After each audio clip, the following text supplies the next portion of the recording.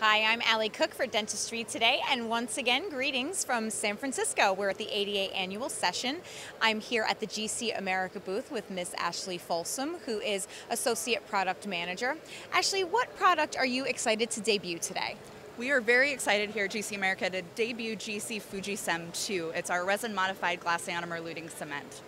And tell us a little bit about how it works. The way the product works, it's our second generation of our number one product, GC FujiCEM.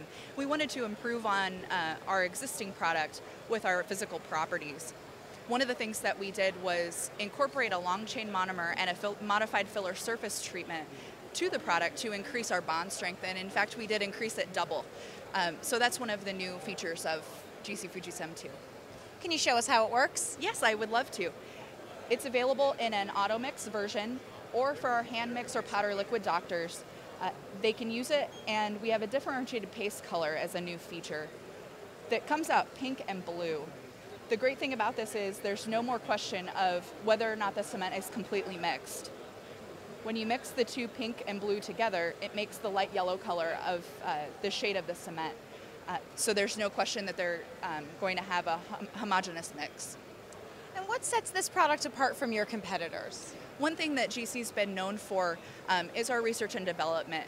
And we came out with um, the very first uh, luting cement in a glass ionomer in the 1970s, and we continually improve uh, upon this. So, because we were the first to come out with it, I think that the we continually have to improve. Very long product history. Yes, yes, it is. Where can people go for more information on this new product? They can go to gcamerica.com and visit our GC FujiCEM 2 product page. All right. Well, Ashlee, thank you so much. And as always, keep it right here at dentistrytoday.com for more from the ADA session in San Francisco.